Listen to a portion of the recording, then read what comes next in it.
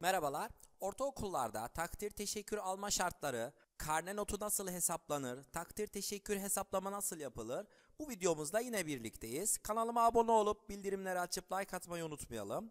İlköğretim Kurumlar Yönetmeliğinde madde 53'te ödüller ve ödüllerin verilmesine göre arkadaşlar ilkokul 4. sınıf ile ortaokul ve İmam ortaokulların bütün sınıflarında puan ortalaması Türkçe dersinden en az 55, diğer derslerin her birinden en az 45 puandan aşağı olmamak şartı ile tüm derslerin dönem ağırlıklı puan ortalaması arkadaşlar 70 ile 84.99 arasında olanlar teşekkür belgesi, 85 puan ve yukarı olanlar takdir belgesi alır denilmektedir arkadaşlar. Bu belgelerle ödüllendirilir.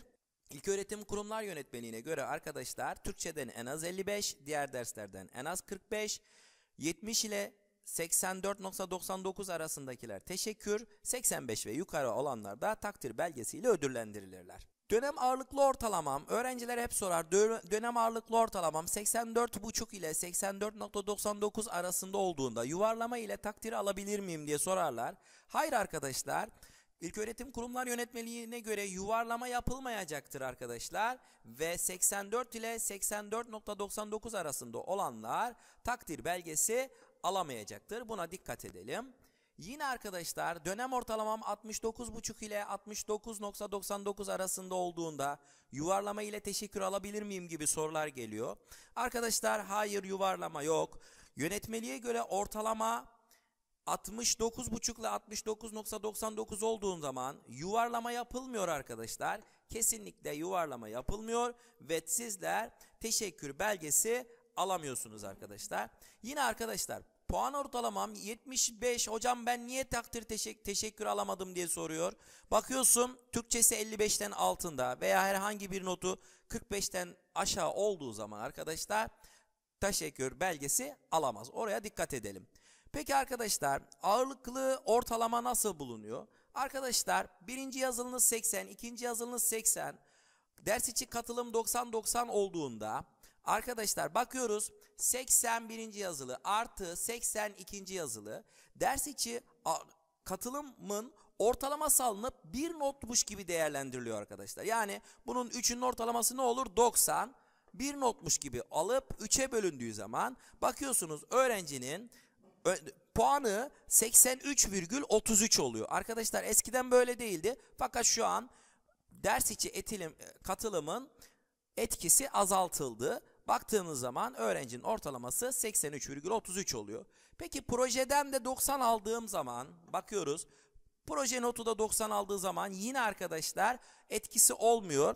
Yine birinci yazılı 80 artı ikinci yazılı 80 artı ders içi katılımla projenin ortalaması alınıp bir notmuş gibi kabul edilip 3'e bölünüyor. Yine bakıyorsunuz öğrencinin dersin dönem ortalaması 83,33 oluyor arkadaşlar. Yani projeden daha fazla almanız sizin e, ortalamanızı çok yükseltmiyor. Sadece bir yazılı hepsinin ortalaması bir yazılı değeri yerine geçiyor arkadaşlar.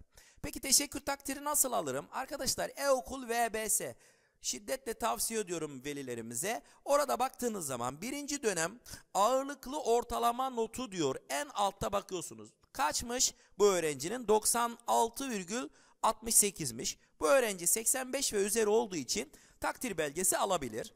Yine arkadaşlar e-okulu açtığınız zaman en son burada puan ortalamaları veriyor. Şunları görüyorsunuz.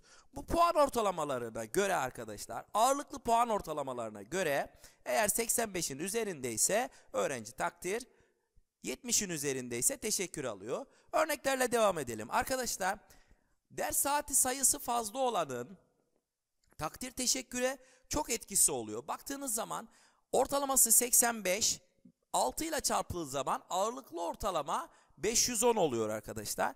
Baktığımızda arkadaşlar tüm ağırlıklı oluyor. Toplam 35 saati var. Ağırlıklı ortalama 35'e bölündüğü zaman bakıyoruz ortalama 88,28 olmuş. Bu öğrencimiz ne alır arkadaşlar? Takdir alır. Yine bir örnek yapalım arkadaşlar. Baktığımızda öğrencinin notları ve seçmeli derslerin notlarının ağırlıklı ders dönem puan ortalaması 90,09 olmuş. Ağırlıklı Ortalamayı 35'e böldüğümüzde arkadaşlar 90,09 olmuş. Bu öğrencimiz yine takdir belgesi alır. Yine bir örnek yapalım arkadaşlar. Öğrencimizin ağırlıklı puan ortalamasını hesap ettiğimizde yine bakın Türkçe 5 saat 5 ile çarpılıyor. Matematik 5 saat 5 ile çarpılıyor. Fen 4 ile çarpılıyor. Bakın 1 saat olanların ağırlıklı ortalamaya etkisi daha az. Seçmeli derslerin de ağırlıklı puanı etkisi var arkadaşlar. Bu öğrencinin toplam ağırlıklı puanı 35'e böldüğümüzden 35 saat var. Kaç bulmuşuz? 91,2 bulmuşuz. Bu öğrencimiz ne alır? Takdir belgesi alır. Arkadaşlar Mıstık Fenci YouTube kanalına abone olup like atmayı unutmayın. Beni dinlediğiniz için teşekkürler arkadaşlar.